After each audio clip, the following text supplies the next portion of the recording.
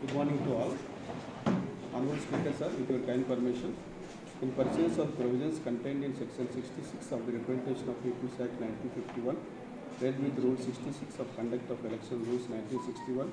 Sri Itala Rajender, sponsored by Bharatiya Janata Party, has been declared elected in by-election from thirty-one Huzurabad Assembly constituency as per the Telangana State Gazette notification.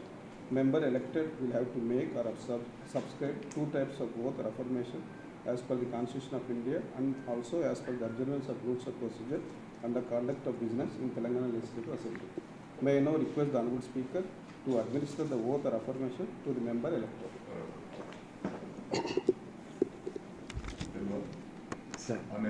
నేను ఈటల రాజేంద్ర అనే నేను శాసనసభ సభ్యునిగా ఎన్నికైనందున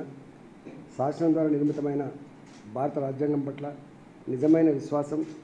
విధేయత చూపుతానని భారతదేశ సార్వభౌమాధికారాన్ని సమగ్రతను కాపాడుతానని నేను స్వీకరించబోయే కర్తవ్యాన్ని శ్రద్ధాశక్తులతో నిర్వహిస్తానని పవిత్ర ఉదయంతో ప్రతిజ్ఞ చేస్తున్నాను.